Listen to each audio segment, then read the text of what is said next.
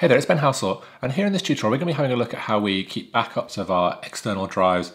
I'm also going to talk about how I set up my working drive uh, that I'm editing from um, using a couple of solid state hard drives, um, but in particular we're going to be having a look at the Carbon Copy Cloner software which I use to keep synchronized copies of all my projects um, on my backup drives and also on my working drives. Now Carbon Copy Cloner is sponsoring this video, um, but I've been using it for um, a long time, for about uh, 10, 15 years now um, in its different kind of incarnations. Um, and it's a really great piece of software that you can use for cloning your Mac, for keeping backups of your external hard drives, um, and for generally kind of managing your data.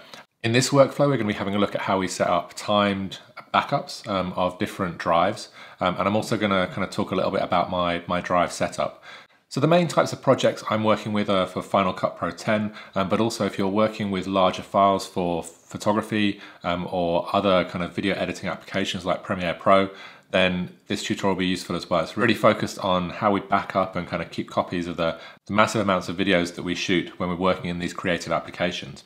So first things first, I'm going to run through the different hard drives um, that I have and use. So the first drives or kind of set of drives that we'll talk about um, is my main boot drive and then also my main video editing drive. And we'll kind of have a look at um, that first of all. So I have the OWC uh, ThunderBay uh, 4 and basically in this enclosure I have three hard drives set up. So I have my uh, system hard drive um, because I didn't want to open up my iMac uh, to actually install the system drive. So um, I run my system drive from here and also a Stripe drive. So that's two solid state drives um, that I edit my video from. Um, so basically, when you stripe drives, you're basically writing to two drives at the same time. If either one of them fails, uh, then you've lost everything. Um, but that's why I keep the, the kind of backups with Carbon Copy Cloner um, from those drives. So basically, I've always got backups to around an hour ago, um, which means that I can keep editing, but I'm not kind of interfering with my editing workflow um, as I'm working. So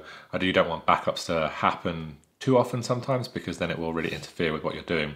And then I've also got a larger backup drive in here as well, uh, an 8 terabyte drive, which I use um, not for Carbon Copy Cloner, but for my Time Machine backups um, from my Mac system. Uh, and then I've got other kind of copies of my system as well. So if we open this up, and we'll move the laptop out of the way as well for this. So you can see uh, there's kind of four uh, drive enclosures in here. And basically each one of these pops out. So if we just unscrew one of these and pop this out, then basically in here um, we can put in a full three and a half inch drive or a uh, two and a half inch drive. Um, basically this is one of my stripe drives um, that I use for video editing. So I've got two of these in two of these different bays. Um, and then in my other bays, I've got my backup drive. So we don't need to look at any more solid state drives, but we've also got in this last one here on this side, we've got the larger kind of uh, eight terabyte drive. So I don't want to edit video um, from this, um, but it's great for backup um, and means that I've got a lot of extra storage uh, for backing things up. So the size of my solid state drives are both for my striped uh, video editing drives are one terabyte each. That means I have two terabytes of editing space um, because you don't lose any space when you're working with a stripe RAID. And then I was planning to run the system off uh, a RAID in here as well, um, but you can't do that on Mac OS X anymore. Um, it won't allow it when you install it. So I basically got one solid state drive that is my uh, system drive. So basically I have my uh, three drives in here um, that show up as three different drives. The two stripe drives will show up as one drive, my system drive will show up as my other drive, and then my backup will um, show up as a different drive.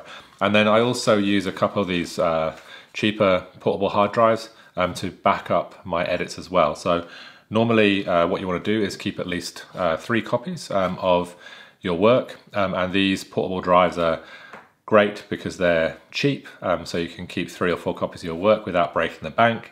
Um, and by using Carbon Copy Cloner, you can kind of quickly set that up so it syncs up even if you're plugging and unplugging um, drives out. So I've got some solid state drives that I use when I'm traveling and editing, um, and I also have those backup as well when I'm using Carbon Copy Cloner. So I'm just using a handful of these drives um, as well as my drives in here to kind of keep everything uh, synced up. And the portable drives are nice as well um, because it means that um, you can keep stuff offsite as well. So normally I'll take one of these and plug it in uh, once a week or once every other week. So I've got backups of my projects um, offsite as well. So that's a little bit about the, the drive setup. So that's enough about the hard drives uh, for now. Let's dive into Carbon Copy Cloner and have a look at how we actually set these drives up to uh, synchronize. Um, and we can set them up so they synchronize on a schedule, but also so that whenever we plug in a drive, for instance, we're taking a drive traveling with us, and we can set up so that as soon as we get back to our desktop machine, then it will sync up um, automatically. So let's put this to one side um, for the moment. And now we're going to dive into the Mac system and Carbon Copy Cloner and have a look at how we back up for me, uh, mostly my Final Cut Pro projects. Um, and then if you're using any other applications, the process will be um, exactly the same uh, for kind of keeping synced copies of all your work.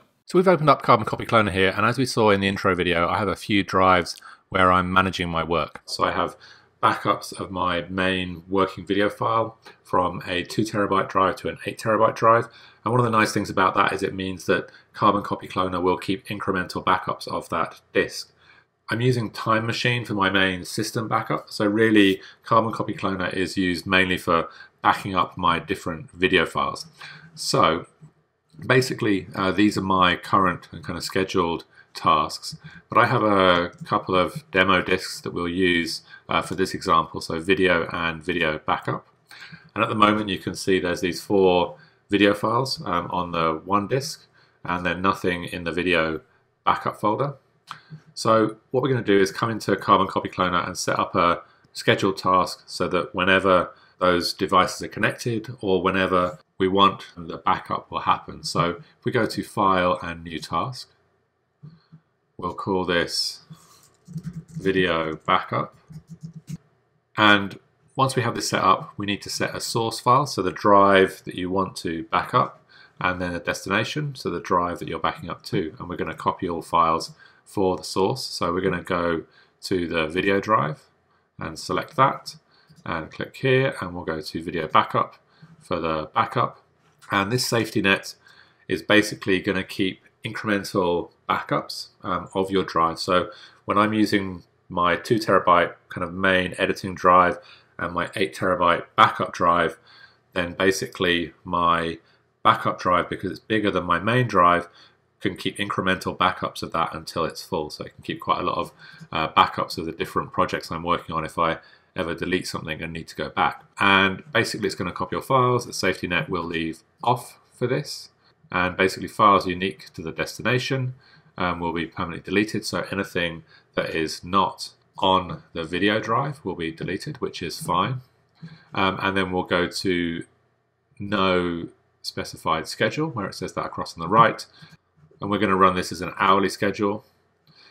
And so basically in here, we've got options of when we want to run it. We can also limit when the task is run. So if you're wanting to run it at lunchtime um, or only at night time when you're not working, and that will kind of obviously ease the burden on your system, um, then you can do that. Uh, we'll just have it running hourly, which is how I normally have it set up, um, so that if I ever lose everything or my computer kicks the bucket, then I've only lost an hour's worth of work. Um, and we can also limit the days of the week on which the task can run as well. So we've got a few different options in the scheduling um, that we can use. So we'll press done to that. So it's going to run it every hour and we'll save that. So basically, uh, this task may delete some files and folders from video backup. That is fine. We'll press save. I'm not worried about that. And now we can run our first backup by pressing clone here. So basically, we get the same warning that it might delete stuff. We're not going to show that again. And then we'll hit run now. And so now we're backing up from that video drive um, to the video backup drive. And this is a small backup, so it happens uh, pretty quickly. And you'll find that um, actually the two drives that I'm using here are USB drives, so things are happening a little bit more slowly. But when I'm backing up from my solid state drive to my backup drive, things happen pretty quickly. And so we've got a little tick box now that says the task happened and when it last happened, and you can see the last times that these tasks happen as well. So these are happening regularly on my system. So once this is set up, if we come back to our desktop, I am going to inject my video backup. So you can see the files are on there now. And I'm going to add some more videos into my video folder. So actually we'll reorganize things a little bit here. We'll, we'll call this Surf Videos 01. And we'll pop all these in here. So we're doing a bit of organization on the main video drive. We'll call this Surf Videos 02. And we'll grab a handful of other videos and drop them in there.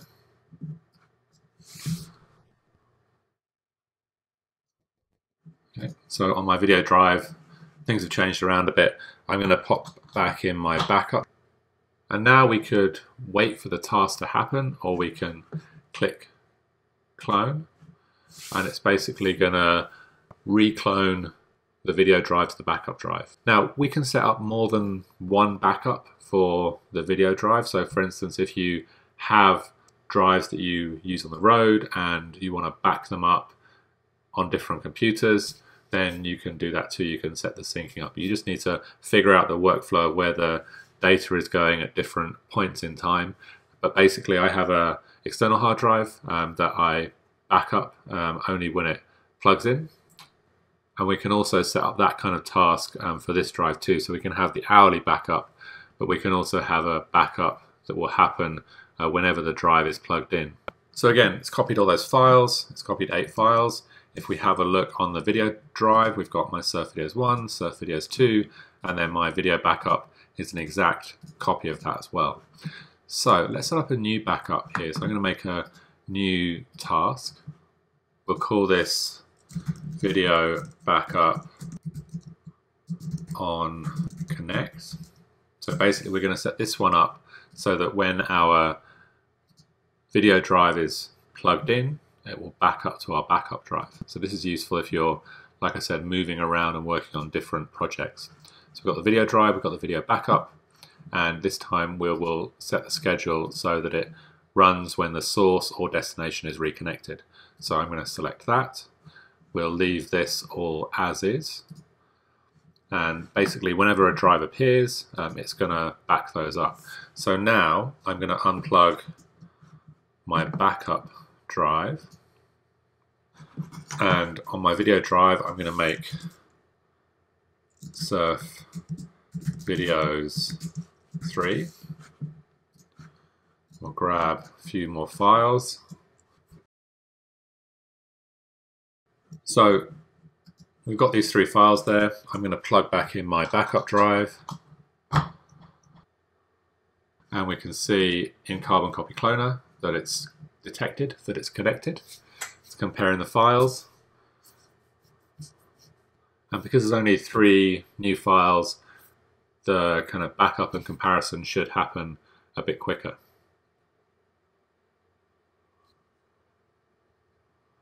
So the task is completed. It's just copied three files this time rather than the 13 that are on there. And if we look at the backup drive, then you can see all those files are a perfect duplicate of these files.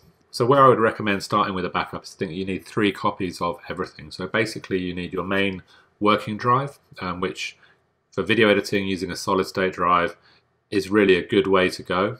And then you need two backup drives. So for those two drives, um, you're basically going to use cheaper drives, so cheaper drives and bigger drives. So if you select a three and a half inch drive or a cheaper external USB drive that you're using only for backing up, um, then you've got a nice kind of level of redundancy in there. And then when, rather than if, one of those drives actually kicks the bucket, um, then you can replace that drive and set up a new sync um, for those drives. So that will help you to kind of keep your working projects backed up. The nice thing about the portable drives is that you can back them up on Reconnect. So keep your working projects in the office and take your portable drive home. And then you can make a decision as to how often you want to back things up and just bring that portable drive back, reconnect it, let it back up, and then take it off site again. So that's a quick overview of how to back things up. I'll leave some links below to the drives that I'm using. Um, so you can see the kind of different costs of those drives. Um, and if you have any questions about backing up or working in Final Cut Pro or managing files, in Final Cut Pro, then please do leave a comment um, below. Um, and I look forward to seeing you in the next tutorial.